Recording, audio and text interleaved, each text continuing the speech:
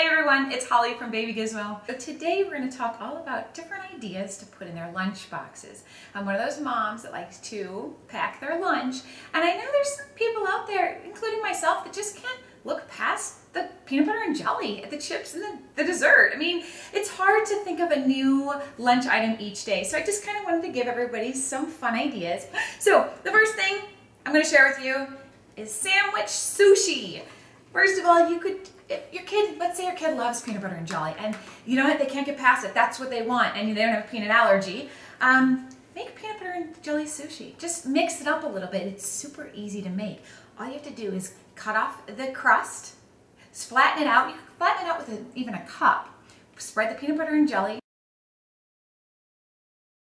roll it, secure it with a little peanut butter on the edge, and you have yourself peanut butter and jelly sushi. You just cut it into pieces, put it in a container like this with a lid so it doesn't get squished.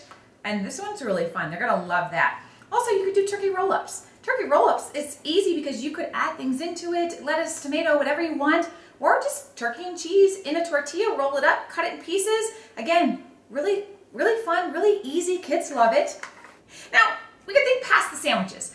How about soup for lunch? You know, you don't normally think to send your kids to school with soup, but if you get one of these thermoses that keep things hot up to five hours and cold up to seven hours, these are awesome, these food thermoses.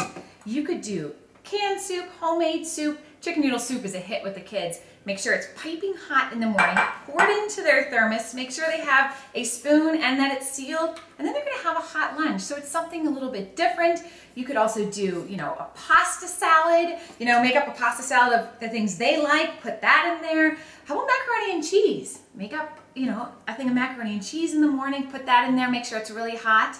And then they're to have, it'll be warm by the time lunch comes around, but you know what, for a first, second, third grader, they would love to have macaroni and cheese. And so these food containers, it's by Thermos, I got mine at Target, um, really, really good. And what's great about it is they fit right in a lunch box or a lunch bag. So, you know, like this, there you go, and it's still room for other stuff. So think you can, like I said, think hot foods as well. Now, also, you know how to like, get those Lunchables? They're kind of expensive. You know, you can probably get them for one or a dollar fifty a piece, but you could absolutely do it yourself. Now, do cheese and crackers. Just put one uh, uh, container here that has two sides, one side the crackers, and then kids love things in shapes. I took cheese and I cut them into stars, and then I gave them the other half. So, because I don't want to waste any cheese, but again, kids love it. They have cheese and crackers. That is an idea. Of course, fruit. I mean, you can never go wrong with fruit. Just a little container of, of carrots, raspberries and blueberries. You put it in a sealed container like that so it doesn't get squished. I, like I said, I love these containers because they go right into the lunchbox. And you can get them pretty cheap at you know Tar Target and Walmart. Do bananas, of course. Another one of my favorites are the yogurts, um, the yogurt packs. These, the Go-Gurts, the Simply Go-Gurts, I freeze them and I put them in their lunchbox frozen with a cold pack. And so sometimes they're even still a little bit frozen when they get to school or they're just cold. So the yogurt um, squeezes are awesome. Or you could get your own yogurt container and just, you know, something like this, put the yogurt in there. Also, Raisins, raisins are great. And the last thing I want to show you today is homemade granola bars. That's right, I just made homemade granola bars and they're awesome. And I even snuck some flaxseed in them. That's right, don't tell my kids because they might not eat them if they knew that. But they've got dried cranberries and mini M&Ms and honey and peanut butter and if your child has a peanut butter allergy, you just leave the peanut butter out and substitute it with something else. Um, but they're homemade granola bars. And so I'll put a link to how I made these in the recipe underneath the video. But homemade granola bars are awesome. Um, because then I know exactly what's in them as opposed to the packaged ones. I know what I put in there and there's no extra hidden preservatives or something like that. So this is just a few ideas for you from the I really like the sushi. I think it's really fun and my kids really love it. Um, and like I said, don't forget about the hot foods, the pasta salads, all kinds of things like that. And you know what?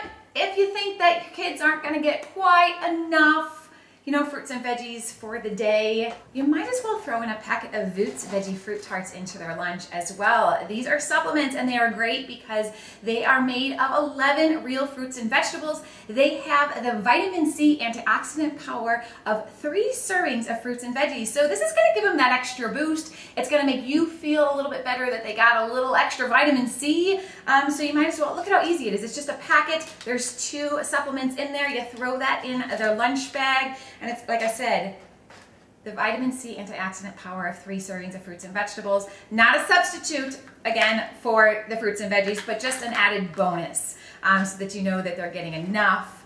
Um, so there you go. That is just a few of my ideas for kind of mixing up the lunchbox. Like I said, I want to know your ideas because I know you guys got better ones. So leave me a comment under the video.